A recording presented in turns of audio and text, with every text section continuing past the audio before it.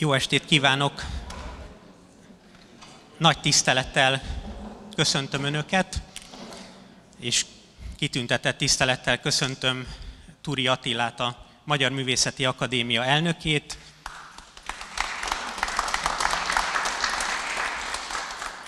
Rihli Gábort, a Magyar Művészeti Akadémia főtitkárát, az itt megjelent elnökségi tagokat, akadémikusokat, köztestületi tagokat, munkatársainkat és szerzőinket. Óriási megtiszteltetés és nagy öröm számunkra, hogy külön székeket kellett behozatni. Noha ma egy elég fontos foci meccs is verseng azért a figyelemért, amit mi szerettünk volna magunkra vonni, de ezek szerint szerzőink, olvasóink és a, a Magyar Művészeti Akadémia belső és külső közvéleménye is úgy ítéli meg egyetértve velünk, hogy egy folyóirat életében a mostani hányatatott időszakban a tíz év, a tizedik évforduló is már egy fontos esemény. A mai labbemutató két részből fog állni. Az egyik része be fogja mutatni a legfrissebb számot, illetőleg a legfrissebb három számot, a másik részében pedig a Magyar Művészet folyóirat történetével, arculatával, küldetésével, feladatával fogunk foglalkozni egy másik kerekasztal beszélgetésben. És most elsőként fölkérem Turi Attila elnök urat, hogy tartsa meg köszöntőjét.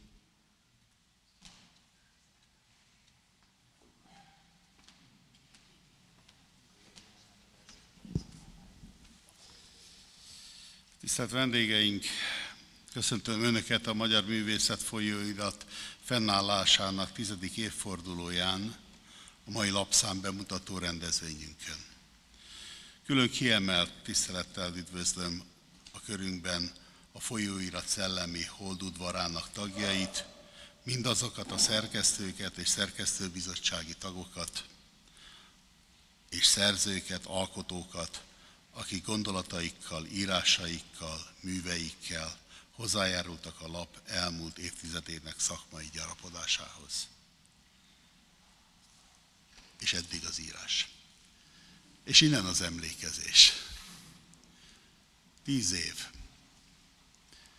Egy december 6-ai napon jelent meg a magyar művészet, és nekem a sors úgy hozta, hogy hetedikén indult a repülőm Sánkhájba és mint a mérgezett egér rohangáltam a különböző lapterjesztőknél, hogy egy nyomorult lapot valahogy összeszedjek, és el tudjak dicsekedni a Magyar Építész eh, Szövetség és Kamara eh, utazó közönségének, hogy magyar művészet. Nagyon nehéz volt, alig fért be a bőröntbe, de megvolt. És és volt egy sajátos hangulata és arculata. Kulin Ferenc és Kucsera Tamás Gergely főszerkesztésében árendás mester grafikai arcával, egy kicsit vastagocska, kicsit nehezen forgatható, nem esti eh, ágyba való olvasmány, mert ha orrára esi, ejti az ember, akkor eltöri, de volt. Volt egy olyan lap, ami megindult, és amely az volt az érzésem, vagy meggyőződésem, meggyőződésünk, hogy különbözött minden más laptól. Sok, rétes, sok rétűségében, a, és abban a hangulatában, hogy nem akarta a tutit megmondani, nem akart megvezetni, nem akart egy irányba menni, hanem kérdéseket akart fölvetni gondolatokat akart fölvetni, és ajtókat nyitni egy párbeszédre. És ezt tartom a legfontosabbnak. És ezt tartom a küldetésnek, a sokféleséget, a 400 szerzőt, a 45 lapszámot, és ezt a nyitott világot. Azt a világot, mivel nem értek hozzá, és ezt most bevallom önöknek, de a, hogy ennek az online felülete ugye a következő lapszámnál teljes mértékben látható a lap. Mi nem terjesztésre megyünk, hanem arra, hogy eljusson mindenkihez. hogy mindenki olvassa ezeket a gondolatokat, és egy párbeszéd keletkezzen. Erre vannak a lapbemutatók, erre vannak a beszélgetések, és ehhez kívánok önöknek kellemes estét, és nagyszerű szórakozást, feltöltődést. Köszönöm szépen, hogy meghallgattak.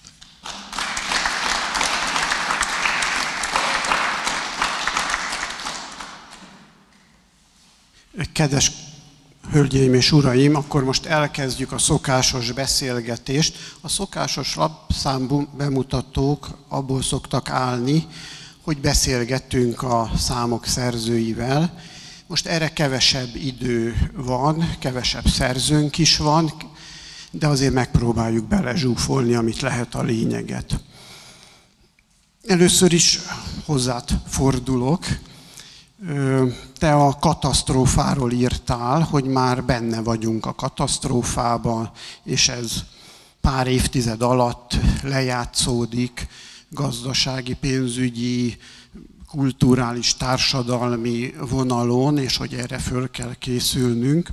És elég bő szakirodalmat adsz ehhez a, ehhez a hát komor jóslathoz mennyire vagy bentben biztos, és ez a szakirodalom, ez egy vonulat, ez egy irányzat, ez, ez mihez köthető? Van egy ilyen iskola, itt elég érdekesen adod meg a foglalkozásot, hogy hogy is van, kollapszista, vagy mi ez a kollapszista? Hát az összeomlással függ össze, de van ilyen irányzat, vagy ez egy egyedi ötlet volt? Hát köszönöm szépen a lehetőséget, a megjelenésre is meg az itteni beszélgetésre is. Hát ennyire azért nem vagyok bátor, hogy így leakasztottam volna egy ilyet a polcról. A kollapszológia tudományága az alapvetően francia nyelvterületről ered, de angol nyelvterületen is nagyon komoly szakirodalma van. Egyébként éppen a jövő héten jelenik meg az első olyan könyv ebben a témában Magyarországon, amit mi egy könyvsorozat első kötetének szánunk, holnap után ez a sorozat címe. Kik ezek mi? Hát a, a mi kérem szépen az a Cassandra program nevezetű kezdeményezés, No Man is no man, ugye? Tehát nem fognak hinni nektek, erre felkészültünk. Erre felkészültünk, így van. Nem is az a célunk, hogy higgyenek nekünk, hanem az, hogy elgondolkodjanak az emberek, és utána saját maguk utána járva a megfelelő információknak döntsenek az életükkel kapcsolatban, így vagy úgy, de hitelesen. Szóval a kollapszológia tudományága az, az a komplex rendszerek viselkedésével foglalkozik, és ilyen komplex rendszer, ami társadalmunk is, sőt az egész globális ipari civilizáció. Ennek a, a kialakulása, mint minden komplex rendszeré, viszonylag hosszú idő és energiaigényes folyamat, mondhatjuk azt is, hogy volt. Ám miután egy komplex rendszer felemészti az erőforrásait, akkor a felívelő periódushoz képest a hanyatlása és az összeomlása egy viszonylag rövid és gyors folyamat. Tulajdonképpen ez az a része a komplex rendszernek, így mondjuk a társadalmaknak vagy a civilizációnak, amivel a kollapszológia foglalkozik, és hát attól függően, hogy milyen iskoláról beszélünk, mert már ilyen is van, sokféle nemzetközi dimenzióban, nem feltétlenül az összeomlás a helyes kifejezés, attól függően, hogy megint mondom, milyen irányzatról beszélünk, hívják ezt nagy felbomlásnak, vagy nagy leegyszerűsödésnek. Lényegében arról van szó, hogy ez a rendkívül összetett és bonyolult rendszer, amit létrehoztunk, ez így ebben a formában már nem sokáig fog működni. És hát ennek a, a kimenetét kutatjuk, hogy ez milyen ütemben, milyen sorrendben, milyen időzítéssel, és hát elsősorban milyen következményekkel jár majd ránk mindannyiunkra nézve. A művészetben milyen jelei vannak, lehetnek, mire figyeljünk, ha már művészeti lap vagyunk? Igen. Én szükségszerűen, vagyis hát számomra valahogy így adja magát, hogy a, a római birodalom fejlődésével vonjak valamilyen párhuzamot.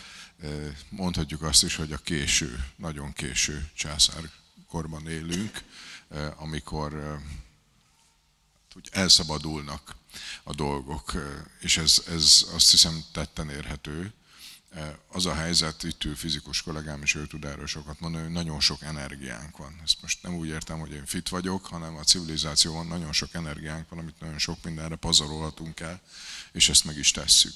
De egy picit konkretizálva, és ez benne van egyébként az írásban is, aminek talán az alcíme a legfontosabb, miért is van az, hogy egyébként minden fontosabb annál, ami mindennél fontosabb. A Dimitri Orlov, ő egy orosz származású amerikai író, az Összeomlás öt fázisa című könyvében elemzi azt, amiről itt nagyon röviden írok, és az összeomlás ötödik lépése az a kulturális.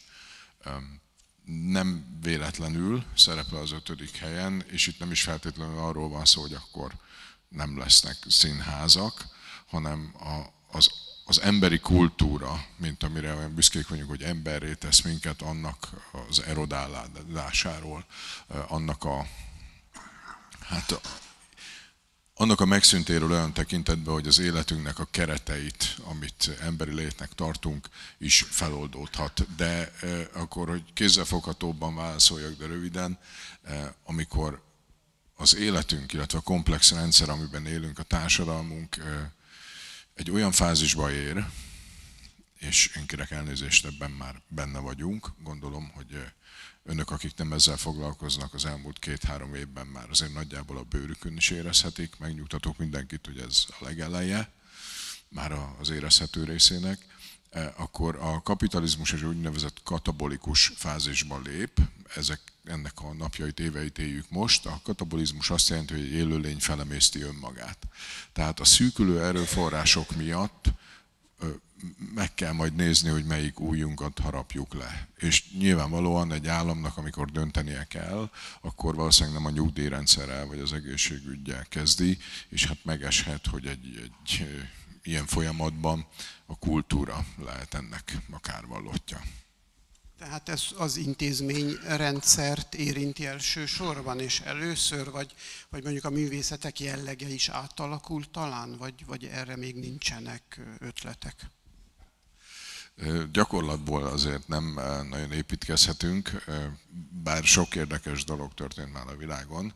Egyébként a, ugyanennek a az öt, ötös skálának a negyedik pontja az úgynevezett társadalmi összeomlás. Erre azért már láthattunk példát, nem tudom, hogy ki mennyire emlékszik rá, de mondjuk 6-7 évvel ezelőtt Venezuela egészen érdekesen nézett ki, és azt is mondhatjuk, hogy gyakorlatilag pillanatokat zuhant szét darabjaira.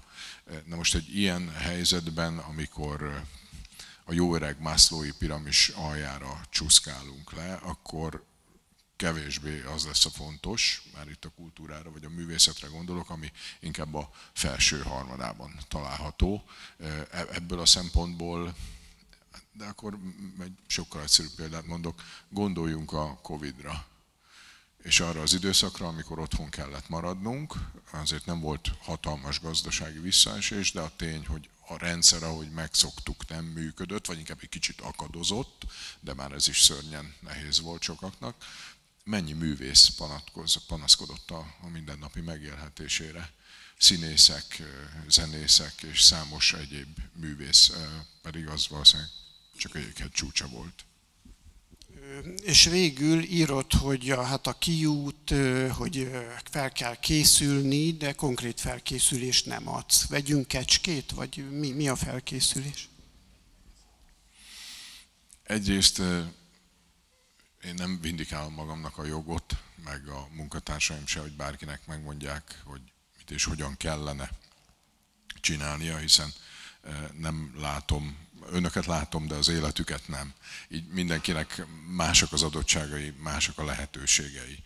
Eh, nem lehet receptet adni arra. Aki kecskét szeretne venni, az vegyen kecskét, eh, feltételezve, hogy egyébként felmérte, hogy ez mi mindennel jár és mondjuk miért éri meg, vagy mit tud kezdeni azzal a kecsketejjel. De amit én személy szerint nagyon fontosnak tartok, és azt is mondhatnám, hogy úgy tömegesen mondjuk inkább azt, hogy mindenki számára elérhető lehetőségnek, az a mentális felkészülés, vagy hívjuk a lelki erő megerősítésének. Megismerni a folyamatokat, megérteni az összefüggéseket, és valahol megbékélni a következményekkel. Ami nem egyenlő azzal, hogy feladjuk vagy bedobjuk a törölközőt, szó sincs róla. De nem, nem illúziókra alapozva hozunk meg az életünkkel kapcsolatban rendkívül fontos döntéseket, mondván, hogy ez úgy hülyeség, ahogy van, meg nem most lesz, hanem majd nem tudom mikor, meg egyébként nem olyan nagy baj, de különben is majd, hát nem én, de majd a tudósok meg a technika megoldja. Ez a tagadás egy formája, technooptimizmusnak hívják, ne erre alapozzunk. És a, a, a mentális reziliencia, tehát a lelki erő felpumpálásán túl, amiről én úgy gondolom, hogy mindenkinek rendelkezésére áll, és a, talán a legeslegfontosabb, az az emberi kapcsolataink tartalommal, értékkel, élettel, szeretettel való megtörtése mert eljöhet az idő, és én tartok tőle, hogy el is fog, amikor adott esetben nem marad semmi másunk. És azt hiszem, ez az a gondolat, amivel befejezem a cikket is, hogy akkor hányan leszünk, akik számíthatnak a másikra, hát ez kulcsfontosságú lesz. Köszönöm, és csak egy gondolat hozzá, a legutóbbi szerkesztőségi ülésen azért megbeszéltük, hogy ha a civilizáció esetleg össze is omlik, alap megy tovább. Jó, és akkor köszönöm, és akkor most a könnyű zenére megyünk át. Hát hatalmas téma, ugye egy 10-15 percben. Te arról írsz, hogy milyen intézményes keretei vannak, a, voltak a könnyű zenének. Ugye itt jött egy új jelenség alapvetően nyugatról, és ehhez aztán a kádári rendszernek valahogy alkalmazkodnia kellett, fel kellett építeni hozzá az intézményeket. Hogy ellenőrizte a kádári rendszer, hogy alakult ez ki, milyen módszerei voltak. Írott, hogy többen is ellenőrizték, az egyik néha cáfolta a másikat, mennyire volt ez kijátszható, mennyire súlyos. Hát egy, egy ilyen végtelen kérdést teszek föl, és azt választod, amit akarsz. Sok szeretettel köszöntök én is mindenkit. Tehát erre az első kérdésre én általában egy fél éves szemináriumot szoktam szállni, de itt most tényleg valóban csak 10-15 perc áll a rendelkezésünkre próbálok egy-két csomópontot felvillantani, és akkor utána szerintem inkább beszélgessünk. A lényeg az az, hogy mindig is fáziskésésben volt Magyarország, ami a zenei stílusok át, könnyű zenei stílusoknak az átvételét illeti.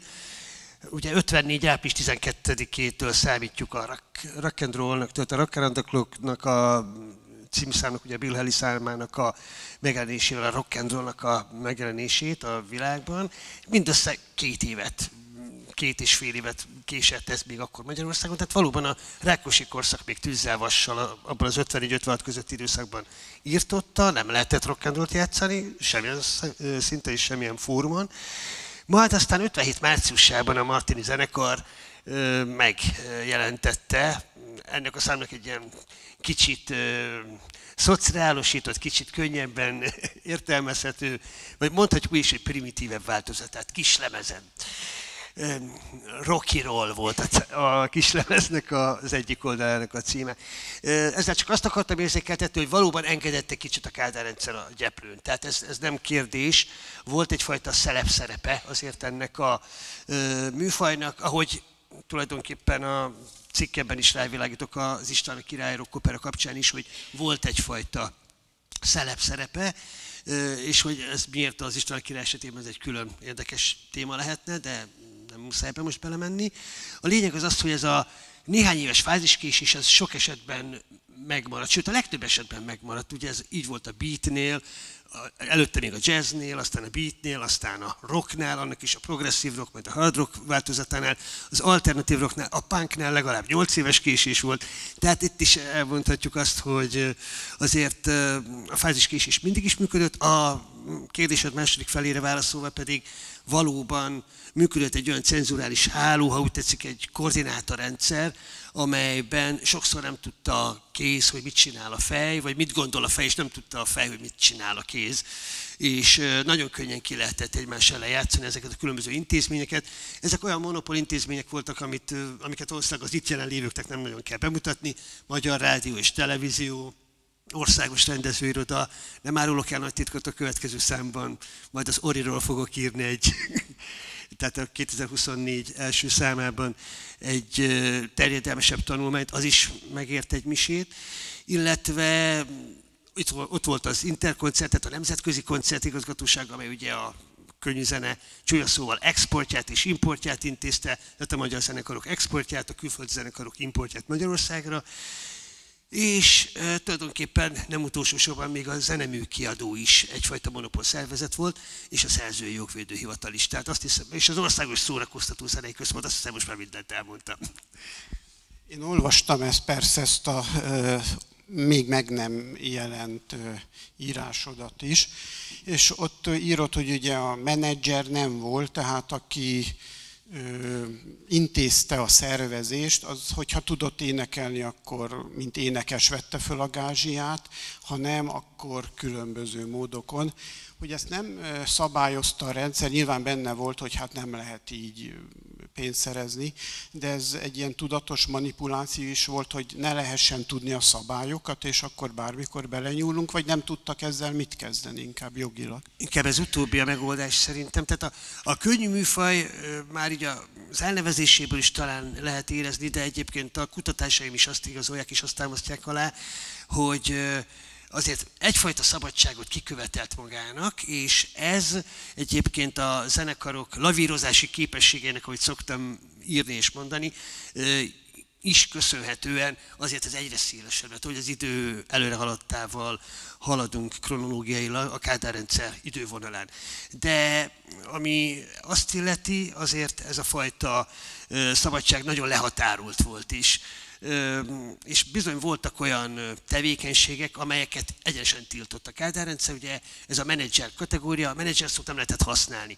És annyiban egy picit árnyalnám az előbb elhangzottakat, hogy hogy igen, azért itt úgy lett valakiből menedzser, mondjuk azt, hogy bot csinált a szocialista menedzser, hogy nem jártak ki ezt az iskolát, nem volt akkor még zeneipari képzés, jelenleg ugye van most már több mint tíz éve Magyarországon, és nagyon drukkolok, hogy legyen egy könyvzenei egyetem, amit ugye Demeter Szilárd most már többször is meglebegtetett, és tényleg elindult az akkreditációs folyamat, meglátjuk, hogy mi lesz belőle. Szóval, hogy ezek a fajta tevékenységek, ezek nagyon nehezen fértek bele a szocialista, realista művészeti elképzelésekbe.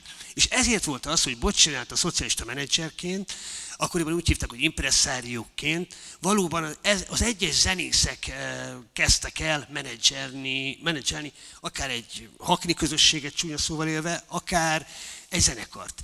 Tehát egy zenekaron belül is mindig volt egy zenekarvezető, a zenekarvezető az kimondva, kimondatlanul is sok esetben nem tudott zenélni, vagy nagyon kevéssé tudott, vagy legkevésbé tudott zenélni egy zenekaron belül, viszont Isten áldott a tehetség volt szervezésben, ismert a műfázigazgatókat, a klubvezetőket, voltak bizonyos kapcsolatai a kisszel, ez nagyon fontos volt. Sok olyan önmagát ma is konzervatív, keresztény gondolkodású zenészt, könyvzenészt ismerek, aki akkoriban ezt egy négy szemközti beszélgetésben is könnyedén bevallották, hogy tényleg a kisszel úgymond kollaborálni kellett. Tehát nem volt mese, nem volt lehetőség, és hogyha csak a legeklatánsabb példát hozzam fel, Nagyferú is mindig szokta mondani, hogy a rendszer segítségével mentünk a rendszerrel szembe, amikor 1980. augusztus 23-án a Fekete Bárányok Fesztivált megcsinálták, hiszen azt valahol mégiscsak a kis reformszárnya támogatta, azt nem mondom, hogy kezdeményezett, de támogatta, és, és végül is aztán mégiscsak egy ellenzéki kvázi tüntetés lett belőle. Még az érdekes számomra legalábbis, hogy volt arról szó, rebesgették, de ez talán tény is, hogy mint a rendszer maga is alapított, vagy, vagy létrehozott volna valahogy együtteseket, akiket jobban ellenőriz, közelebb állnak hozzá, szelidebb szövegekkel. Volt ilyen, és ez hogy, hogy volt? Ez egy nyílt irányítás volt, vagy kiemelt egyeseket, elbeszélgettek egyesekkel? Ugye még a piramisról is mondják, de dinamit, P-box, kik ezek a együttesek? Tehát olyan, ugye hivatalosan Magyarországon cenzúra sem volt, mert nem volt olyan, hogy cenzúra hivatal, ellentétben Varsóval vagy Moszkvával. Tehát ott volt cenzurális hivatalos közege és intézményesült formája is ennek. Nálunk ez a cenzúra is sokfelé aprózódott el. Az előbb nem említettem még a Tánzal és Sanzon Bizottságot, tehát az volt ennek a legfőbb letéteményese. Éreztem, hogy valami hiányzik. Ugye, és furcsa mód, ez csak egy zárójeles mondat, 59-től 85-ig működött, tehát a Kádár rendszer megalakulásakor még nem, a feloszlásakor pedig már nem működött. De hogy a kérdésedre is válaszoljak, ott azért le kell szögezzük azt, hogy nem volt egy olyan központi direktíva, hogy na most akkor alapítani kell egy állami rockzenekart, vagy egy állami diszkózenekart, vagy egy állami punkzenekart, azt aztán pár nem, hogy punkzenekart, de mondjuk egy beatzenekart sem, ugyanakkor talán ez a legjobb kifejezés erre, domestikálni próbálták őket. Tehát léteztek, ez, egy, ez mégiscsak egy önkifejezési eszköz volt, és mégiscsak a szabadság jelkép. Aki elkezdett mondjuk a 60-as évek második felében beatzenélni, az alapvetően akarva, akaratlanul is lázadt a rendszer ellen. Most ezt próbálták egyrészt a Kimit tudokkal, másrészt a táncdalfesztiválokkal domestikálni, és a harmadik egyben legkudarcosabb vállalkozása a Polbit fesztiválok volt. Tehát a 67-es, 68-as két, a 68-as az már igazából kerékbe tört vállalkozás volt, leginkább a 67-esről beszéltünk, mint Polbit Fesztivál, gyakorlatilag megpróbálta ezeket a zenekarokat olyan szociális szövegeknek a, az írására ösztökélni, amelyel egyfajta munkásparaszt értelmiségi szövetséget tudott volna létrehozni. És hogy mennyire nem volt vevő erre a közönség, azt nagyon jó mutatja, hogy a 68-asra még finn vendégzenekart is meghívtak, és ennek, és szovjetet is persze, de ennek ellenére kudarcba fulladt, nem, nem jutott el a döntőig sem a kezdeményezés, tehát az érdektelenségbe fulladt. De tudunk olyan szovjet zenekart is, ha már itt tartunk, akiknek a koncertjére a Macibányi téri szabadidő központban nem tudtak eladni összesen csak hat jegyet, és és utána az ottani orosz katonákat hívták be a koncertre, és őket ültették be, meg az úttörő szövetség szervezett még néhány úttörő rajt, és így lett teltház a Márcibányi téri művelődési központban. De, de olyan, mint állami népi művészegyüttes, vagy állami operaház, ilyen szinten nem, nem volt irányítható, ebből csak ezt akartam kihozni a könnyű műfaj. Ugyanakkor valóban voltak olyan pártaparatsikok az egyes intézmények élén, lásd Bors Jenő és Erdős Péter tandemje a Magyar Hanglemezgyártóvállalat élén, amelyek, akik kifejezetten alkalmasak voltak arra, hogy irányítsanak, és egyfajta szabad kezet is adjanak nekik. Acél Györgyél azért ők sokszor voltak raporton, igazából telefonos összekötetés volt, ahogy ezt a korabeli, mondjuk így, hogy munkatársak emlékeznek, és valóban a dokumentumokban is csak az derül ki, amikor Borserő Barna Andrásnéval levelez, aki ugye a zenei és táncművészeti főosztálynak volt a vezetője.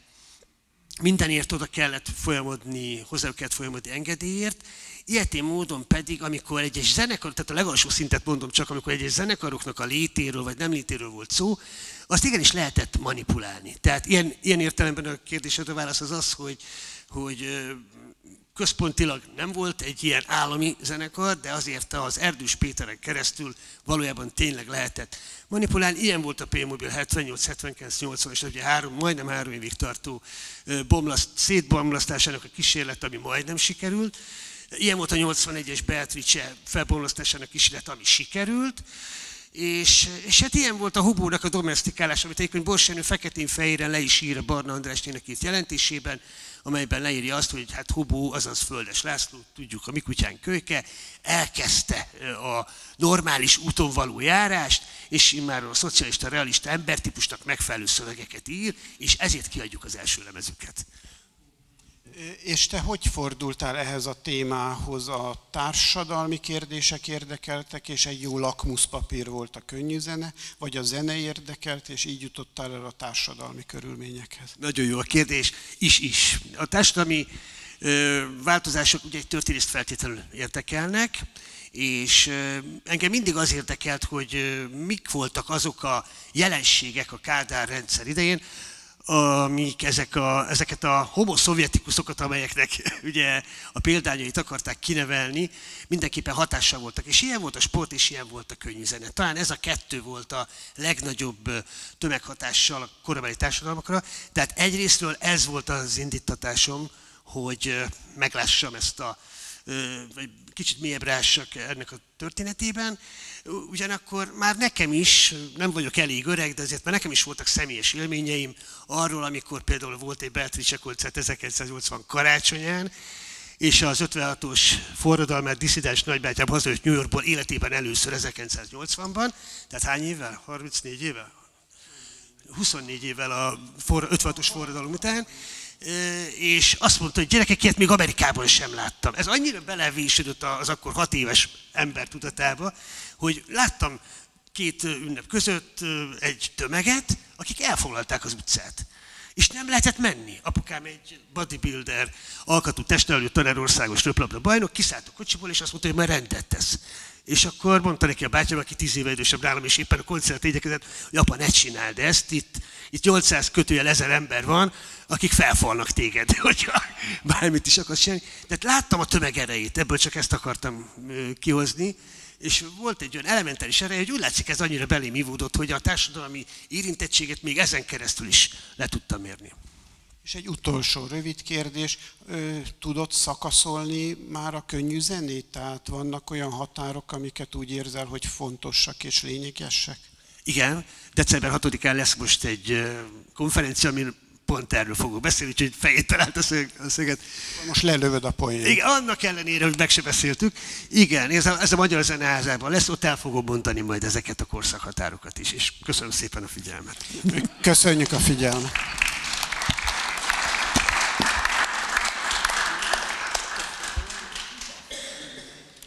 És mielőtt elkezdődik a második félidő és a térfélcsere megtörténik, hadd mutassam be a két vendéget, mert ez elmaradt. Stumpfbíró Balázs, a Pannon Egyetem kutatója, és Csatári Bence, a Nemzeti Emlékezet Bizottságának történésze voltak, akikkel Sturm László főszerkesztő helyettes kollégám beszélgetett. Igen, ki voltunk írva elnézést, én erre csak, támaszkodtam. Csak a, igen, csak a névtáblák hátul már nem látszanak. És egy dolgot még hadd tegyek hozzá, amíg tényleg itt a helycserés támadás megindul, hogy miért kértük föl Stumbíró Balást ennek a tanulmánynak a megírására, hiszen az összeomlás kutatás nem feltétlenül és szükségképpen kapcsolódik a művészet elmélethez. Egy kicsit a magyar tudomány ünnepéhez kötődően is a novemberi számot a természettudományok és a művészet témájának szenteltük, és ez a téma, ez úgy jutott egyébként eszembe, hogy különféle kvantumfizikai ismeretterjesztő könyveket olvastam, és Heisenbergnek van egy kiváló könyve, a Beszélgetések az atomfizikáról, amely egyébként több beszélgetésből áll, és állandóan Platónra hivatkozik, mint aki az atomfizikai, a kvantummechanika megszületésének egyébként ihlet forrása volt, és Heisenberg többször leírja azt, hogy nincsen ahhoz nyelvünk, hogy az új fizikának a törvényszerűségeit, az eredményeit közvetítsük mások felé, megérthetővé tegyük, akár a tudományos közösség, akár a közönség felé, és folyton arra hivatkozik, hogy tulajdonképpen itt a költészet metaforikus nyelvét használják csak a fizikusok, akkor is, hogyha nem ismerik be azt, hogy itt nem annyira fogalmakkal, mint inkább metaforákkal dolgoznak. És egyébként ez volt a, a számnak is az egyik ihlet forrása, és két írás is kötődik ehhez, így vagy úgy. Az egyik Bókai Antalnak, aki a pszichoanalízis és az irodalom, a másik pedig Mizserna Csillának az írása, amelyben Nemes Nagy Ágnes költészetét tulajdonképpen így a kvantumfizika segítségével mutatja be, vagy a fogalmi elemzést, a, a nyelvi elemzést ennek segítségével végzi el, és ehhez kapcsolódott kicsit távolról Stumbíró Balázsnak is a tanulmánya, és köszönöm szépen még egyszer, hogy itt voltak.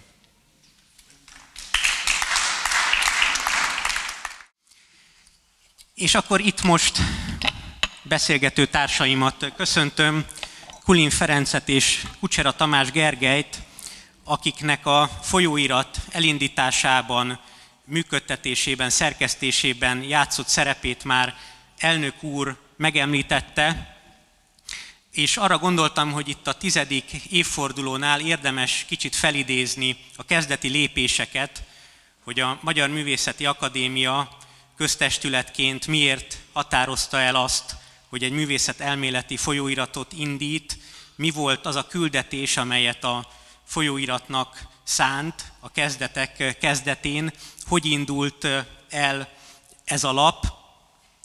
És mindjárt itt hadd tegyem azt hozzá, hogy innen szeretném, hogyha az ív, a beszélgetés íve odáig tartana, hogy magáról a, egy kicsit a művészet elmélet és a művészet kritika helyzetéről is néhány mondatot megfogalmazzunk, mert azt hiszem, hogy ez is időszerű.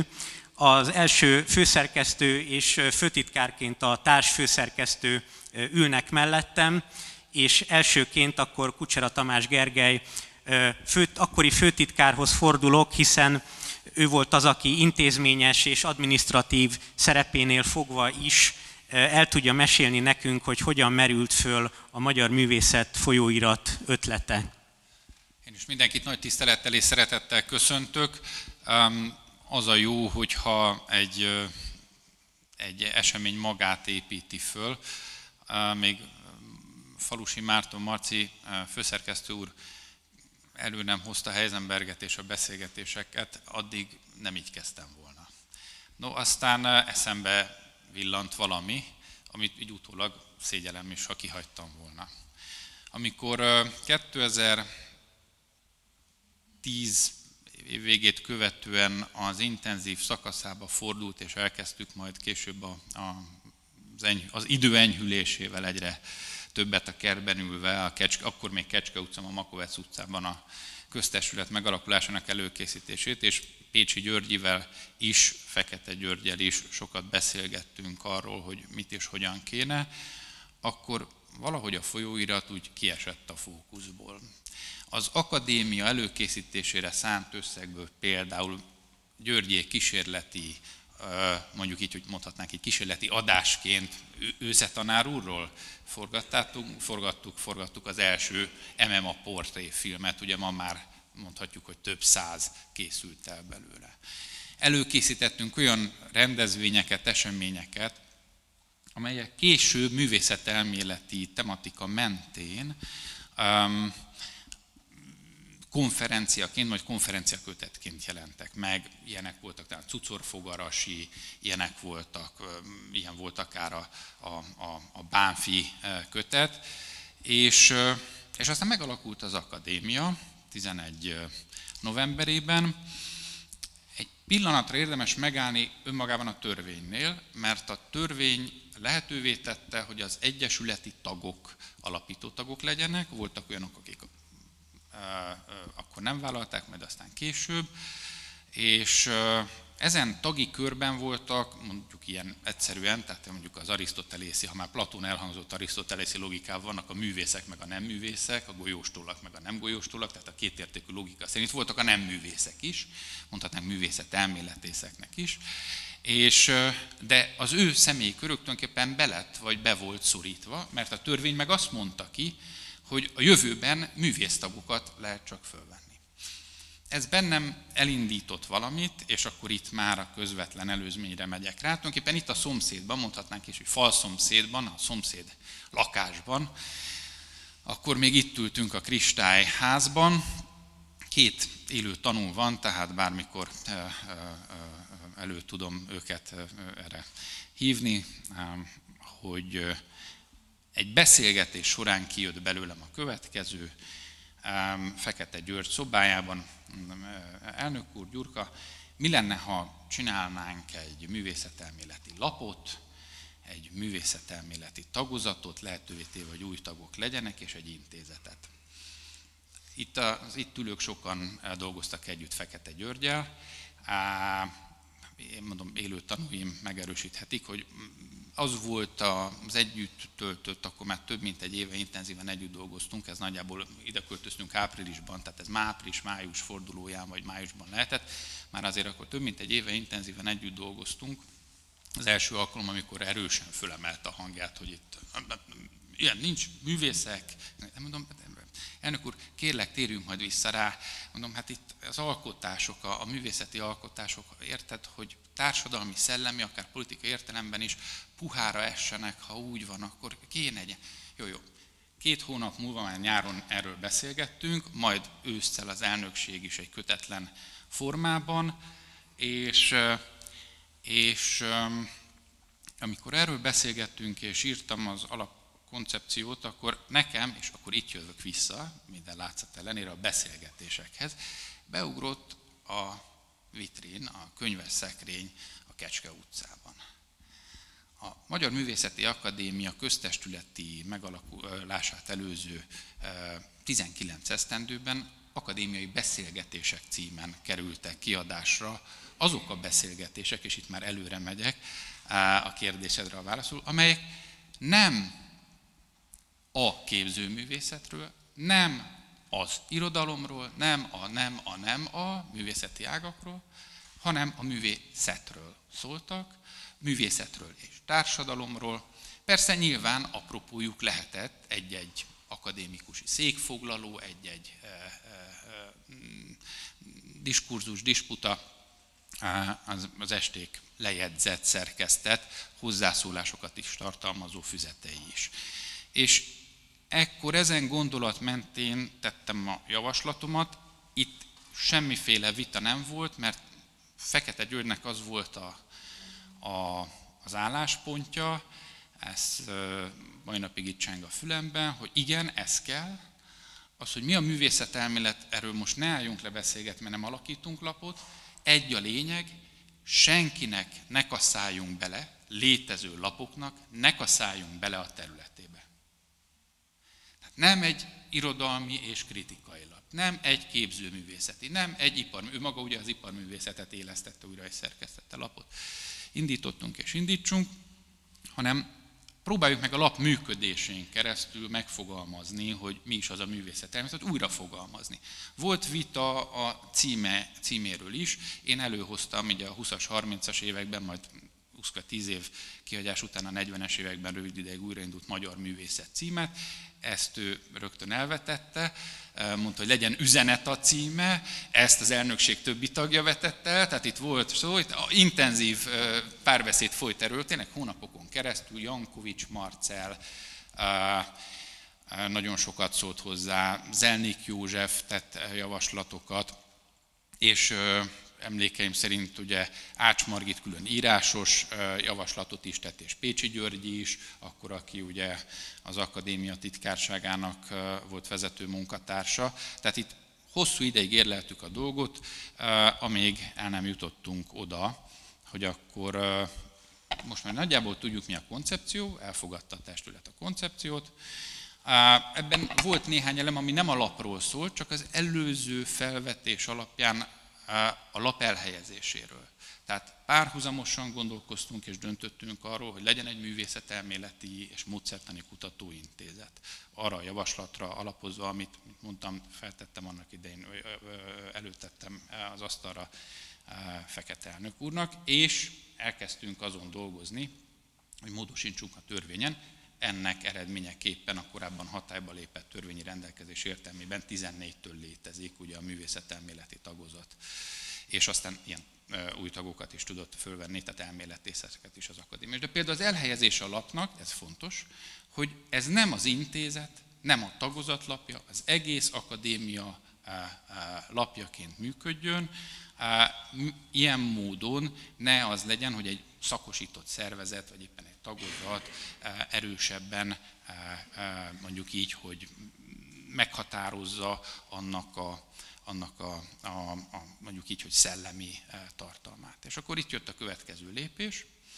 Ez a lépés ez az volt, hogy akkor ki legyen a, a főszerkesztő, és akkor itt elkezdtük a, a fantomrajzot, és akkor így a többeknél ez a fantom kép, ez elkezdett Ulin Ferenc arcárt visszahozó tusrajzá vagy ceruzarajzá formálódni, és, és akkor jött az, hogy akkor meghívásos pályázata legyen ennek a főszerkesztői kinevezésnek, és ez kötődően jött az, hogy rám vonatkozóan, hogy nem azért, mert főtitkár, hanem azért, mert több lap szerkesztőbizottsági tagja, illetve szerkesztője vagyok, meg ha már kitaláltam, akkor kapjam ezt a puttonyt is meg, és akkor üljek le beszélgetni Kulin Ferencer, aminek az első beszélgetésnek az lett a vége, hogy mind a ketten ugyanazt írtuk föl egy, hát én is ahogy szoktam, tehát akkor is így dolgoztam Szalvétára. Ő, ő hozott magával egy rendes, hát egy, mégiscsak egy komolyabb ember, mint én, tehát rendes papírral érkezett, én a szalvétáimra szoktam írni, és a, a, a felírt gondolatok, ilyen slágvortok egyike volt mind a kettőnknél, ami, tehát ugye az eszé, és az eszék köré épült utána a beszélgetésünk, és lett meghatározóvá a mai napig, azt hiszem, mint a magyar művészet mondjuk így, hogy tartalmi és formai valamiféle metszete, valamiféle jellemzője, és ez megint egy kicsit megágyaz arra, amit kérdeztél, hogy is van ma a magyar, vagy általában a művészetelmélet és a kritika kérdése, de ne rohanjunk előre. Én itt elmondtam az, ami hirtelen eszembe jutott az alapítás előzményeiről, és hát utána való társainkról részben elnök úr megemlékezett, Árendás József, de ugye itt van Balogh Csaba, aki a mai napig viszi ezt a dolgot, illetve Túri Attila, aki nem véletlenül akar büszkélkedni, nem csak azért, mert akadémikus, hanem ugye főszerkesztő helyettes is volt ugye ennek a lapnak, tehát valóban személyes élménye van ezzel az egész történettel. Hát az, amit felemlegettél, elnök úr, az, az ugye nagyon vicces, csak még ennyit talán, ilyen nagyon vicces beszélgetések. Azért, azért mondjuk így, hogy folyamatos tűz alatt voltunk Kulin Ferenccel. Ez a, az első lap, ugye Árendás József, abban maradtunk, hogy indítsunk tiszta lappal. Ugye, tehát az első lapszám az ugye teljesen tiszta, illetve hát a, az akadémiai színeit hozza vissza, nem volt rajta kívül grafika. Utána, hogy hogy alakuljon a grafika, a tördelés, tulajdonképpen a cikkel választók, ez szép lassan alakult, és akkor, hogy végül kerüljenek ki mondjuk a, a címlapra is fotók vagy grafikák, ez, ez egy későbbi változás, de például az, hogy, hogy az a kritika jött, amit egy elnök úr is mondott, hogy baromi nehéz. Hát ezt nem lehet vinni ágyba, nem lehet igazából kihajtogatni, mert az ebédlőasztal felét elfoglalja. Néhányan mondták, hogy ahova az ember még könyvvel szokott járni, oda sem tudja bevinni, mert elfoglalja a fülke felét. Tehát, hogy így jöttek ezek, milyen, akkor, akkor de ilyen technikai nyalánkságokig ment le ez az egész, tehát mindenki írtelen lapszerkesztő volt az akadémia házatáján, ugye Árendás József erre emlékezhetett, mert rendszeresen, a negyed, akkor ugye negyedéves lapként, mert később két havi lett lap szerkesztésénél ezzel kellett küzdeni, hogy mindig mindenkinek jött egy jobb ötlete, legyen könnyebb a papír, legyen kisebb a méret, és, és, és. Ugye ez önmagában azért nem volt ilyen könnyű játék, hiszen a forma és a tartalom az, az egy lapnál, aki szerkesztett lapot, az tudja, hogy erőst összeér. És akkor 13 tavaszán a kiválasztása a főszerkesztőnek megtörtént, és valóban 13 decemberében jutottunk el a lapig, mert hát ugye itt végig kellett gondolnunk az első jó néhány lapszámot, de az volt a cél, hogy 13-ban az első megjelenjen. Köszönöm szépen, és időközben azon gondolkoztam, hogy egy beszélgetést nehezebb szerkeszteni, vagy egy folyóiratot. Én most arra, arra tenném a voksomat, hogy egy beszélgetést mindig nehezebb szerkeszteni, viszont ne felejtsük el Csudai Csabát is, aki szintén itt van, és, és szerkesztője volt a lapnak, őt is sok szeretettel köszöntjük, és nekem az volt az első ötletem, hogy tulajdonképpen minden szerzőt, szerkesztőt, munkatársat név szerint fogok köszönteni, mert az milyen menő dolog, de aztán olyan sokan vannak itt, hogy letettem erről az ötletemről, mert féltem, hogy valakit így is úgy is kihagynék. És Ferenc, hozzád fordulok, ha nem lennék és lettem volna korábban is már főszerkesztő, akkor azzal az álnaív kérdéssel fordulhatnék hozzád, hogy mennyire nehéz dolog főszerkesztőnek lenni. Így viszont onnan indítom a kérdést, hogy a mozgóvilág legendás, mozgóvilág legendás főszerkesztőjeként te azért a már említett Kádár rendszerben beletanultál abba, hogy milyen bonyolult egy lapot szerkeszteni, és itt most félretehetjük, hiszen már erre nincs szükség, hogy politikai szempontokat is kellett mérlegelni. Az emberi tényezők azt hiszem, hogy mindig nehezebbek és bonyolultabbak, főleg mikor ennyi művészeti ág és ennyi szakterület között kell valamiféle egyensúlyt megtalálni. Te tűnődtél-e, tipródtál-e azon, hogy ezt a, ezt a felkérést, ezt a megkeresést elfogadd, és nem gondoltad úgy, hogy hát igazából ez, ez megint olyan sok bajt hozhat a főszerkesztő fejére? Köszönöm szépen a szót. Hát persze, hogy gondoltam, hogy bajt fog hozni. Ez elmaradt végül is, mert nagyon kellemes élmény volt ez a hét év, amit a lapnál töltöttem, és ennek utólag látom, hogy több oka van. Egyáltalán az, hogy oda kerültem, hogy miért, miért kértek föl engem, miért hívtak meg engem.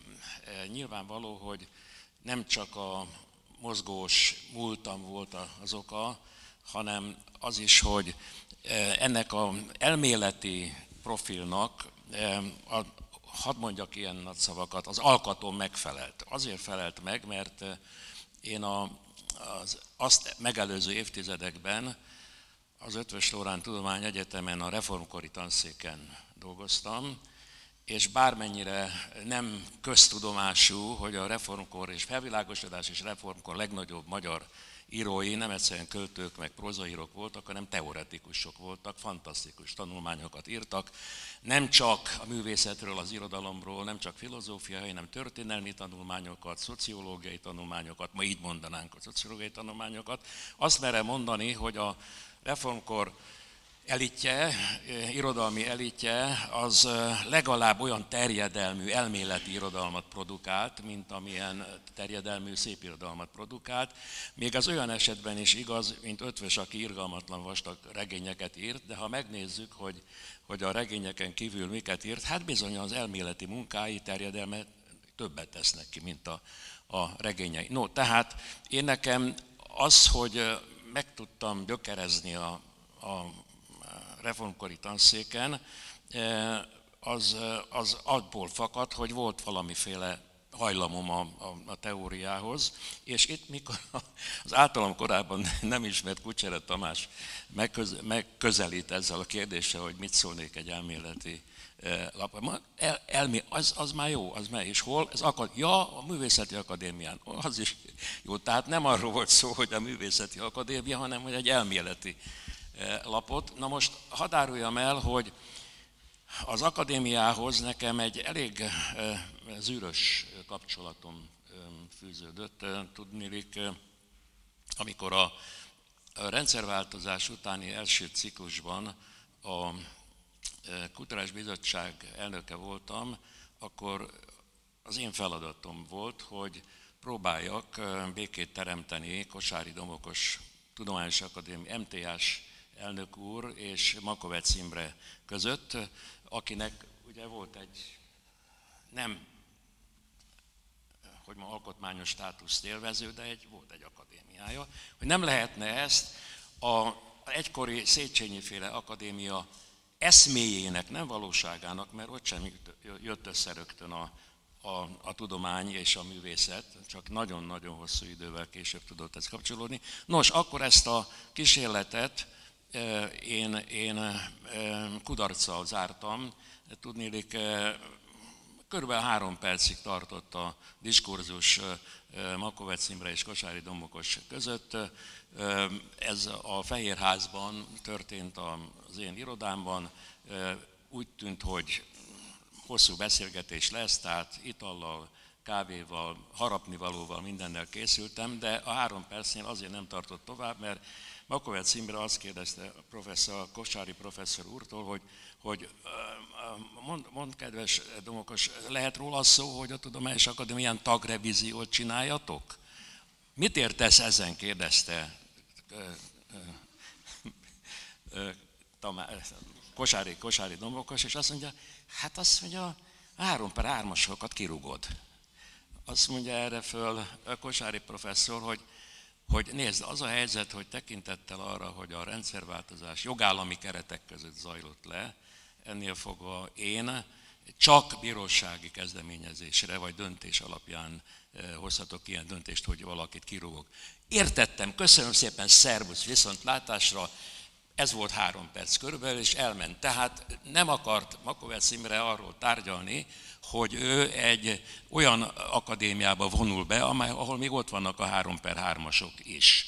Na ennyit, ez nekem kudarc élmény volt, bevalljam, bevallom, mert hát végül is Antalhoz úgy kellett visszamennem, hogy hát nem sikerült, nem sikerült. Na most ez humoros történetnek is felfogható, de nagyon-nagyon mély dráma ez, mert az a, azok az esztendők, amelyek a két akadémia közötti, nem mondom, hogy vetélkedésben, de mindenképpen valami feszültségben zajlottak, azok, azok nem tettek jót a magyar szellemi életnek és a magyar kulturális életnek, és ezért, amikor aztán megalakult a Művészeti Akadémia, és ott meg egy ilyen kezdeményezés értesültem, hát természetesen elfogadtam. Tényleg azért is, mert, mert hát a másik, a könnyebbséget az jelentette, nem csak az elméleti hajlamom, hanem belegondoltam, hogy most kikkel fogom én megtölteni, kiket fogok fölkérni, és ne tudjék hencegésnek, de azt vettem tudomásul, hogy gondolkodtam a leendő szerzőkön,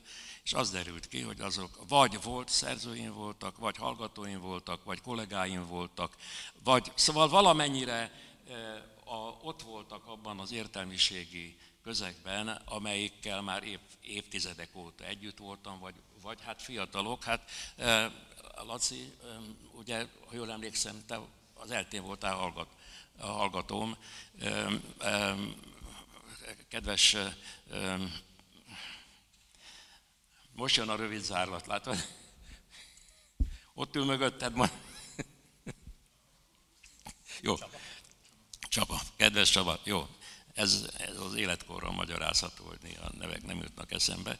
Eh, hogy a Csabával pedig hát eh, évtizedekig eh, voltunk már egy, egy cégnél, egyetemen, meg irodalomtörténeti, stb. stb. No, tehát ez, ez segített abban, hogy igent mondjak erre.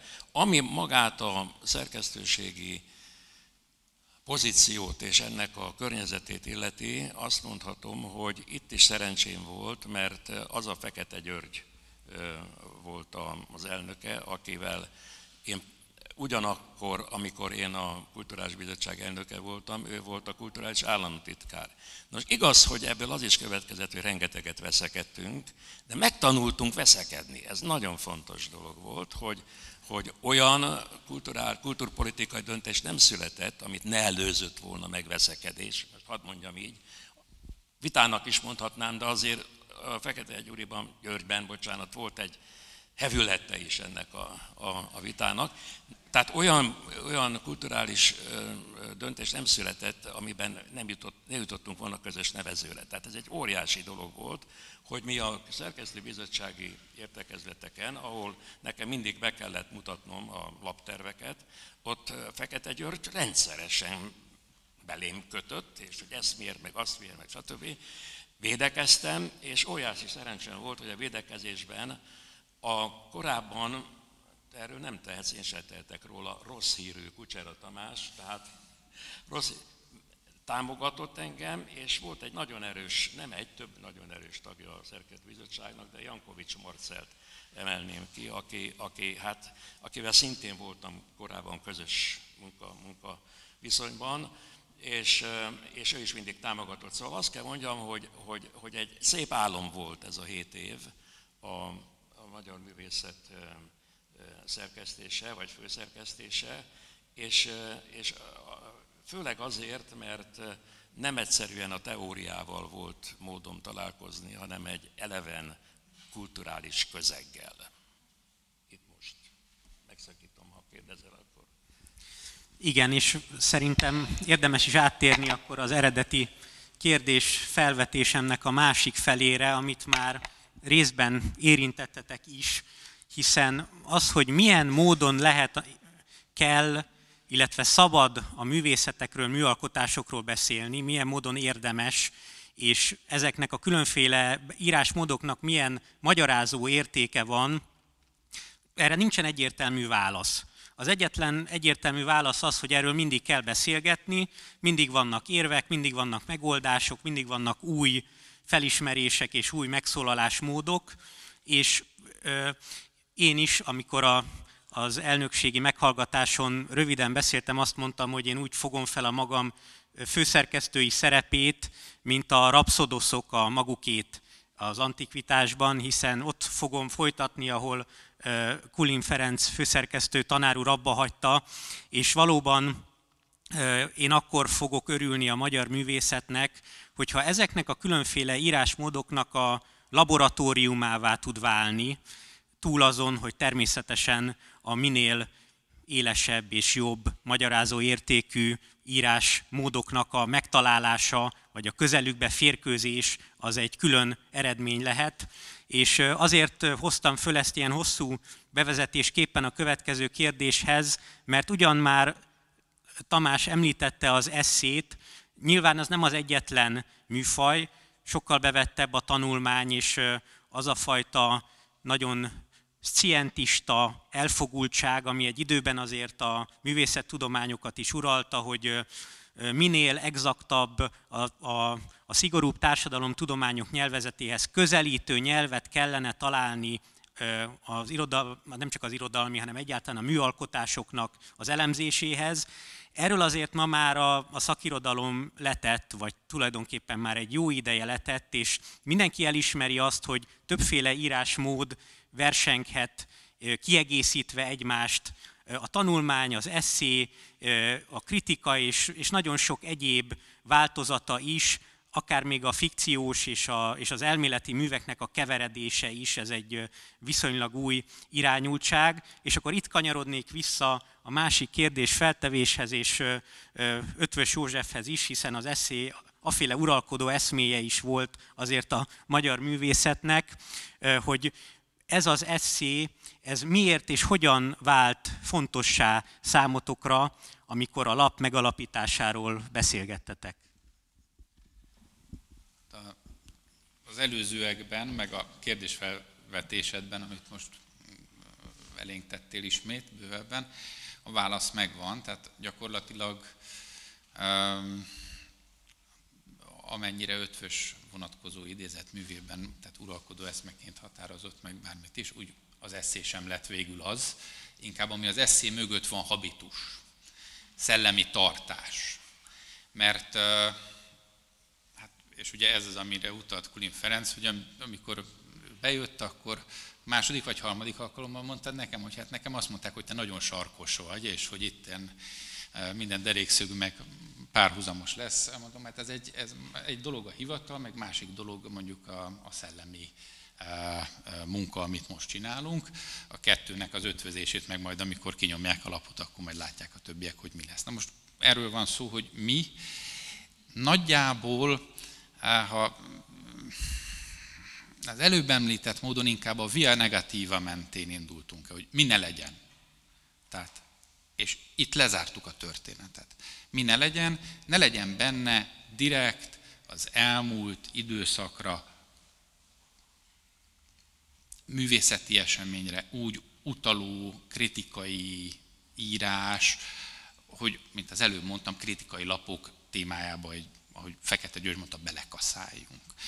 Mint utaltam rá, negyedéves lapként indultunk, tehát ilyen szempontból volt bennünk egy statikusság, ezért ugye sokkal inkább megvolt a lehetősége annak, hogy elméleti lapok legyenek. Mikor kicsit túltoltuk a, a, a tudományosságot, akkor rögtön jöttek a telefonok, hogy haló, haló, hát a lábjegyzet az olyan sok volt, és olyan apróra szerkesztettétek, hogy nem, ez kiolvassa, ki, ez, mi köze van ennek a művészethez. Tehát azért, azért ilyen sarkos mondatokat simán megkaptunk. Ezért alakult ki az a gyakorlat, és olyan szempontból, hogy kicsit én is visszakérdezhetnék, mert azért azt gondolom, egy tíz éves munkából Ferenc ugye hat, hat és fél évet tuszkve, Marci három és fél évet vitt, én pedig nyolcat, vagy több mint nyolcat tulajdonképpen az előkészítési feladattal a, kinevezésedtől indulóan. tehát ugye közben volt egy váltás, és például épp ezért a negyedéves lapból két havi lap lett, és ha megnézzük a tartalmat, sokkal inkább reagál úgymond a, a, a világban történt művészeti eseményekre, mint korábban. Ez, ez végül az akadémián kialakult belső elvárás volt, egy kicsit pusolt minket ilyen módon, mondjuk a lapot valóban olvasó belső akadémiai köre. Hogy ez így jó-e vagy sem, ezt én nem akarom eldönteni, csak erre mondom azt, hogy az elején, hogy finoman jeleztük, hogy végül nem adtunk meg senkinek egy pozíciót. És visszatérve, tehát pont azért, mert nem adtuk meg, ezért egy trükköt hoztunk be. Én korábban is, amikor lapot szerkesztettem, én a tematikus lapszámokat, és ez most is megmaradt, nagyon, nagyon kedveltem. De ezt sem engedhettük meg magunknak, magunknak, soha nem volt olyan, hogy csak egy téma legyen, hanem az volt az elv, hogy ha egy tematikus lapszám, az több, mint a fele, legfeljebb a, a kétharmada mennyiségre a lapoknak, mert ne az legyen, hogyha valakit tényleg nem érdekel ez a téma, akkor kiejti a kezéből, és akkor kimarad neki, megtörik a lappal való viszonya, és mert ugye ez egy negyedéves lapnál az azt jelenti, hogy valaki akkor fél évig nem olvassa a lapot, mert felemeltes kiejtette. Na most nagyjából egészéből itt hoztuk be azt, amit amit, amit máshol nem tudtunk megnyerni, az az, hogy egy-egy témaköré, legyen ez művészet és filozófia, a történelem fogalma, művészet és szociológia, vagy egyébként ilyen szempontból azért reagáltunk a világ akkor folyó eseményére. Mondjuk két lapszámot szenteltünk a NAT. Nem teszek jelzőt hozzá, mert így rövidebben végzünk a NAT legutolsó körös történeteinek. Tehát, hogy tehát mégis volt mondjuk tehát egy lapszám, ami mondjuk az oktatáspolitika vagy köznevelésügy eh, kérdéséhez kapcsolódóan hozta be a művészetügyet, és itt ezen belül valóban megjelentek tulajdonképpen a tudományos eh, publicisztika ugyanúgy, mint egyébként Tulajdonképpen mondhatjuk azt, hogy az irodalmi, filozófia és művészeti eszé mindenképpen tehát minden lapszámban jelen volt, e, de más is e, e, jelen volt, mert ugye például a főszerkesztő úrnak, már hogy Ferencnek megvolt az, hogy minden lapszámban egy történeti, tehát magyar eszmetörténeti értelemben jelentős néhány oldalt beemelt, ugye ezek a sárga lapok voltak a szerkesztés során. Tehát ezekben voltak. Volt még egyéb rendező elv, és itt egy kicsit hátrébb lépek, hogy, hogy persze egyetemes, de mégis elvárás volt, hogy Magyar Művészeti Akadémia, Magyar Művészet, Magyar Művészeti Akadémia elméleti lapja. Hogy, hogy az elején nagyon nagy szigorúság volt ebben, hogy próbáljunk meg belülről, meg magunkról szólni. Hát ugye én kérek elnézést, mert miközben szemeztünk Csudai Csabával, és ő bologatott, és én visszabologattam rá, de előbb felkezdtem felsorolni a korábbi kollégákat, és pont őt nem mondtam ki, de pont ezért, mert én tulajdonképpen megköszöntöttelek, és meg te is engem. Tehát így működik az emberi agy már, amennyire működik nálam.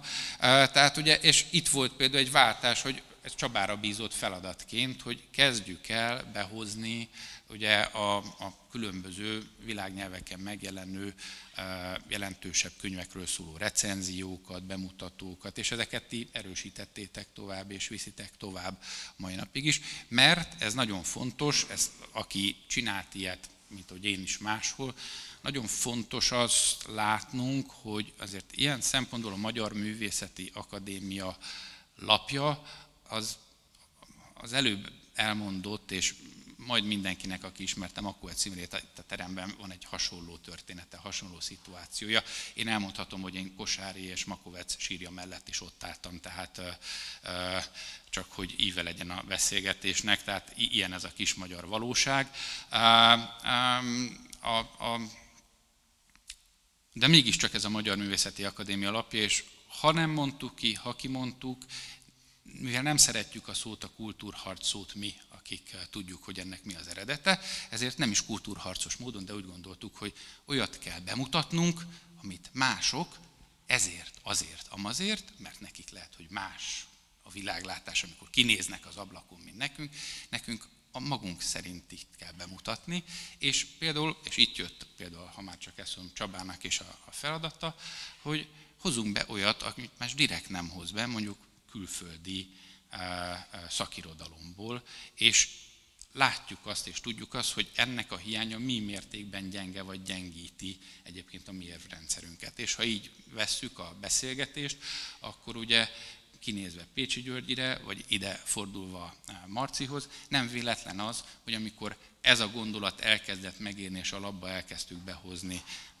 és ilyen módon egy új profilt nyitni, a kitekintéseket, akkor tájt kezdtük el elindítani, vagy hát készítettük elő még a, például a kiadó által és a kutatóintézet által közösen gondozott Pars Pro Toto sorozatot, ahol ugye a, a, mondjuk a nemzetközi, hát nyugodtan mondhatjuk az elmúlt inkább 70 év, mint fél évszázad jelentős, és magyar nyelven nem véletlenül meg nem jelent írásait mutatjuk be.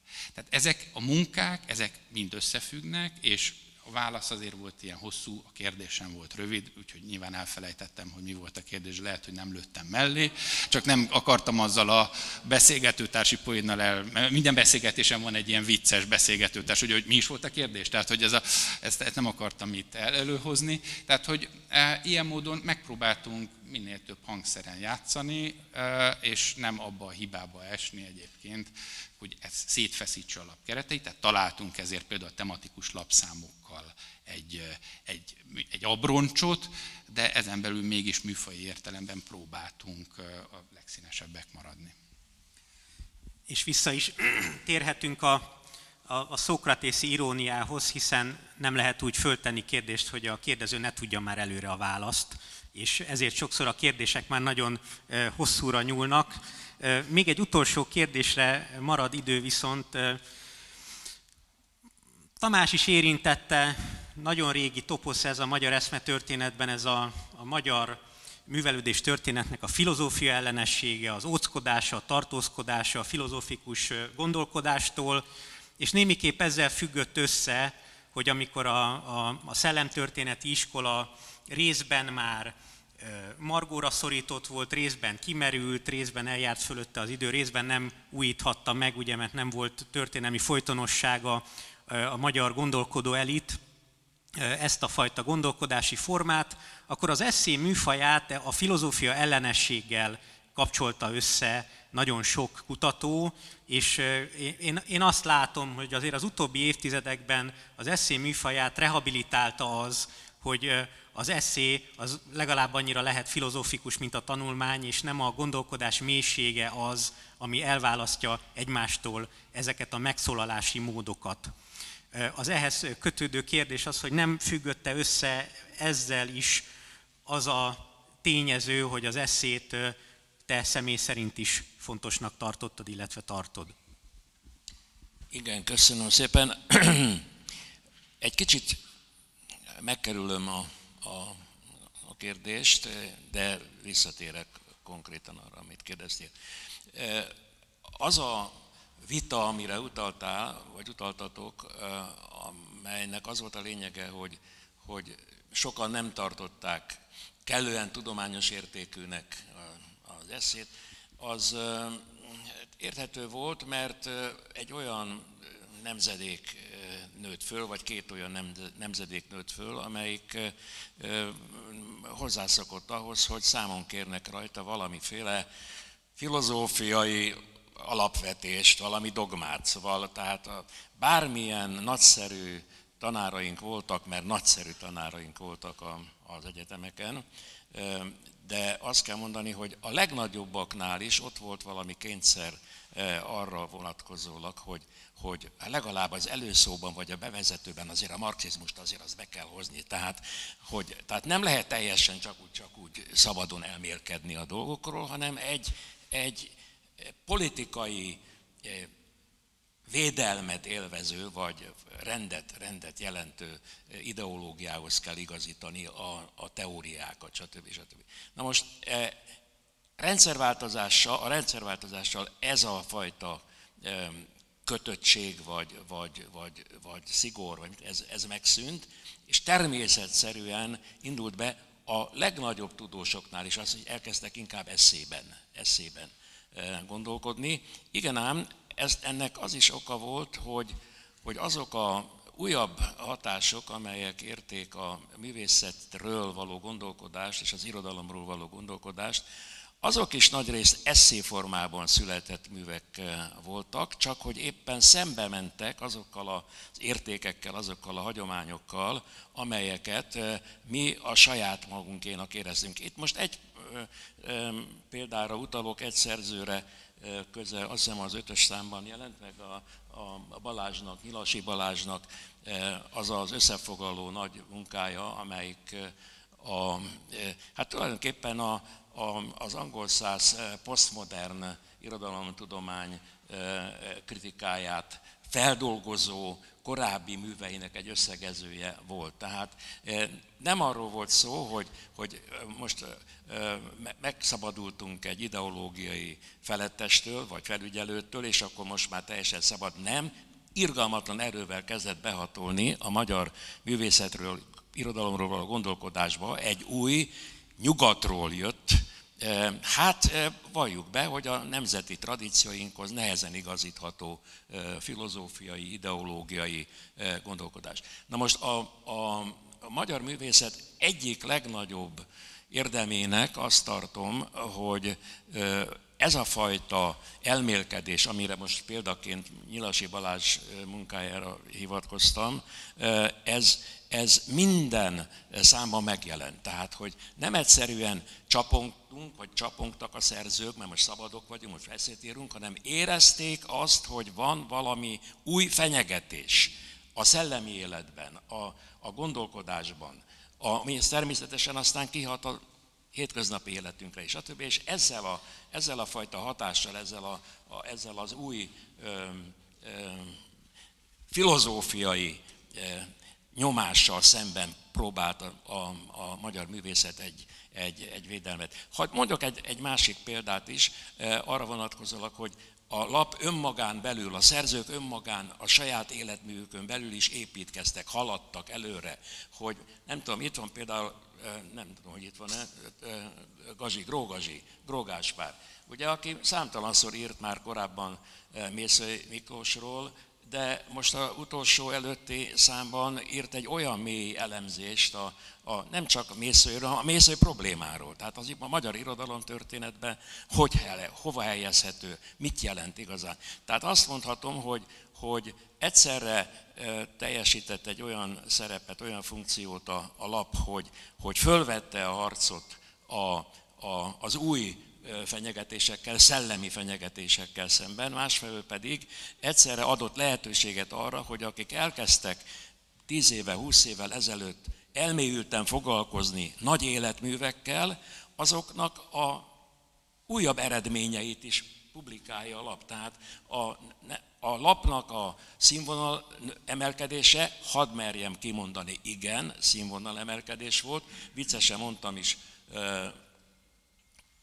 Marcinak, hogy, hogy nehogy azt hitt, hogy ez mind a te érdemed, a szerzőid érdeme, hogy, hogy a, persze nagyon nagy, nagy részben a Marcinak az érdeme, hogy ezeket a szerzőket megtartotta, biztatta, stb. stb. Tehát azt merem mondani, hogy, hogy, hogy ez, a, ez a műfaj, ez nem egyszerűen egy, egy formai vagy, vagy műf, mű, műfaji különös, különösséget jelentett, hanem egy, egy nagyon markáns szellemi tartást, magatartást jelentett, régi hagyományokkal, életképtelen hagyományokkal és új, életerős ellenfelekkel szemben. Ezt kell mondanom. Talán nem a kérdésedre válaszoltam, de az is benne volt.